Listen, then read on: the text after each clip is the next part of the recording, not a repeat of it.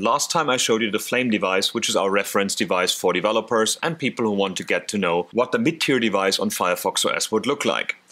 Once you have your Flame set up, it comes like this. By the time the video is out, there might be a new one, so keep up to date. It's really easy to upgrade your operating system. To turn this phone into a proper developer phone, you go into the settings and you go into the internet settings of the phone itself. Device information.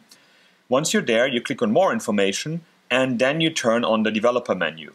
When you now go back to the main settings, you will get a developer menu that would be confusing for normal end users, but is a real, real interesting point for you as a developer. You have, for example, the layer borders, you have tile borders, a hardware composer, the tiling, the overscrolling. Everything that happens in the interface itself to the video card, to the memory, can now be inspected by you. And that is much, much better than trying to do it over USB and seeing it in the ADB log, but you can do that as well if you wanted to. A very interesting new section that we have in Firefox OS now is the developer HUD. Once you turn that on here and you see it, it overlays information onto the screen for you. You show the system HUD, and out of a sudden you see how much memory is being used by the system right now, and how much memory is being used by the app that you're currently debugging. As everything in Firefox OS is an application, including the settings screen, you can actually debug that settings screen while you're using it.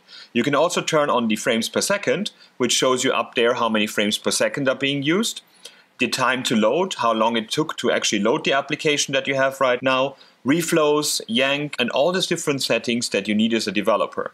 You see the memory consumption of the app itself and you can cut it down to like how many JS objects, JS strings and so on have been set for you. That allows you on the device to see how your app is doing. And for app developers, that has been always a pain. So we set up this HUD for you, turn it on, test your applications, tweak it until it's fast, and then bring it to the marketplace. And other Firefox OS users out there will be happy.